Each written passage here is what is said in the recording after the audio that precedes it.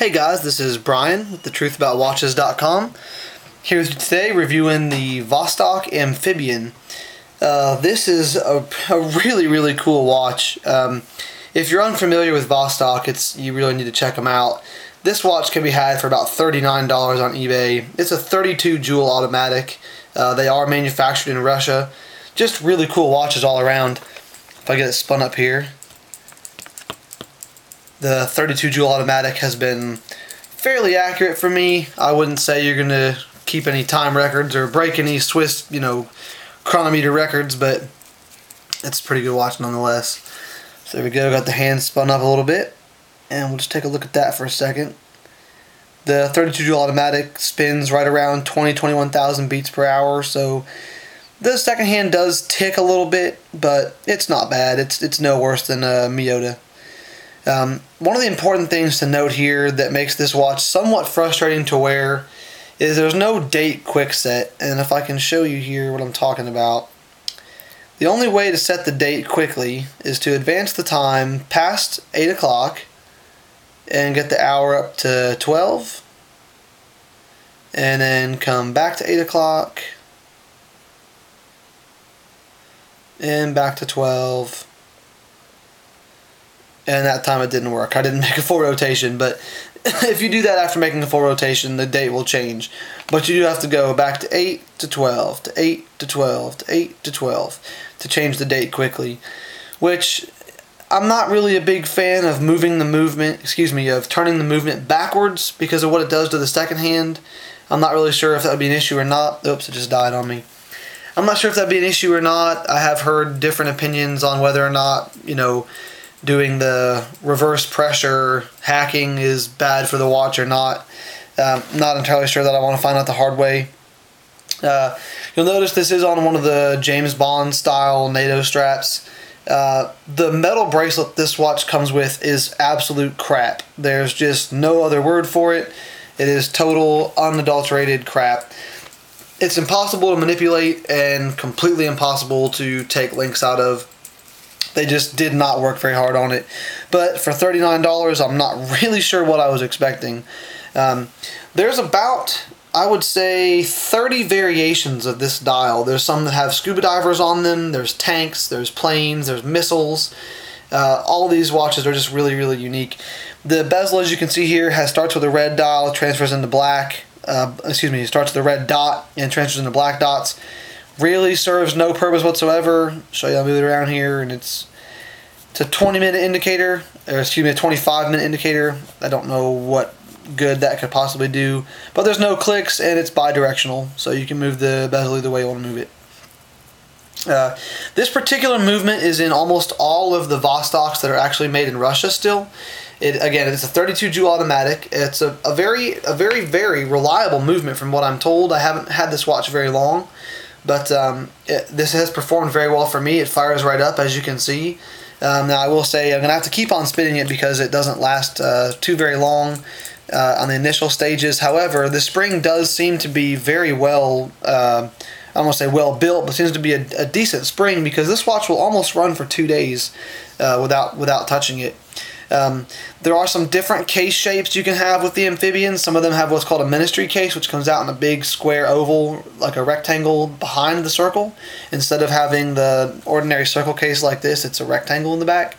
Uh, one thing I'll show you if I can get a if I can get the strap pulled out here. There's some really cool Russian writing on the back. It just says amphibian in Russian. Um, some of these watches are available with Russian writing all over the dial. Some of them are available with uh, English writing, as you can see here. Uh, I've got a couple different variations. I'll put some pictures up with this review. I'm not going to do a separate review for each individual amphibian because I have too many. But um, again, the movement's been pretty solid. Uh, you're going to want to replace the band immediately upon acquiring one of these watches. They're just really not very good. So let's hit the lume. Um, $39, don't expect much, because you're not going to get much. But um, it's really, I've bought these watches for the simple sake of having a conversation piece. I mean, it is a watch that was made in a factory in Russia, and it's just pretty cool. You get a 32 jewel automatic for $39. I don't know how you can beat that. So I'll kill the lights. We'll check out the lume real quick. And as you can see there, it's not super bright, and it's going to die out pretty quick. I'll try and hit it one more time with the flashlight, give it a few more seconds. Um, but again, uh, these watches can be had on eBay anywhere from thirty-two to fifty-nine dollars. Uh, all the different variations. One of the sellers you're going to want to check out if you enjoy eBay is uh, Zenitar. It's Z E N I T A R. He sells the amphibians and every other Vostok watch you can think of, and he's very reliable. This will be the uh, fifth watch I've purchased from Zenitar, and I've just never had a problem. The watches get here. It takes about two weeks. Uh, they ship them airmail. You can pay for faster shipping if you'd like, but I don't really.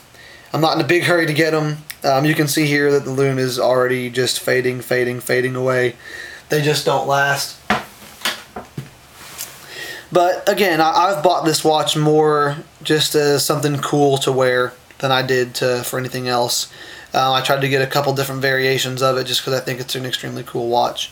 I'm going to give it a couple more spins here.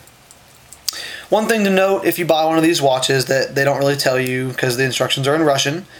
Um, when you pull this watch out to manually wind, which I'll let you hear that real quick. Got a cool, pretty smooth sounding manual wind.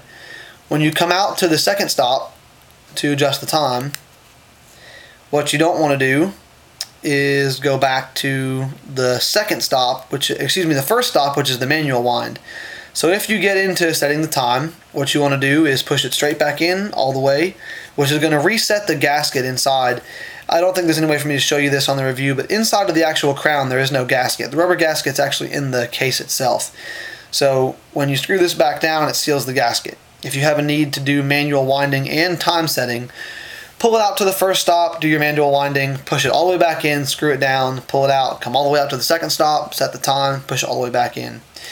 Uh, you can see that the case is, is pretty small. It's a 40 millimeter case. Uh, Vostok listed as a 42 millimeter. I'm telling you that's not the case. It's very small watch.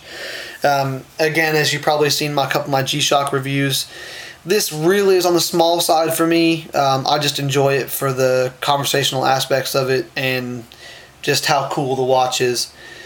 So, uh, aside from the quick set date feature, which I will not lie to you is very annoying, I really only put this watch on when it's close to the date because I don't enjoy setting it up. Um, as a matter of fact, if they made an amphibian that didn't have a date window, I probably would buy a couple of them and wear them all the time. But uh, it's just a really cool watch. Uh, having something that's made in Russia is just uh, cool for me. One thing I would like to show you is the crystal. If you can see it there, is absolutely massive for this little bitty watch. Um, uh, it says waterproof 200 meters. I'm not sure if I'd test that or not, but with this big, massive Coke bottle crystal, it may just be possible. So, if you haven't gotten a Vostok yet, you really ought to look into them. They're super cheap and they're very cool, and you'll get lots of questions about it and lots of comments. So, it's worth checking out. Uh, that'll be it for today, and I'll catch you guys next time.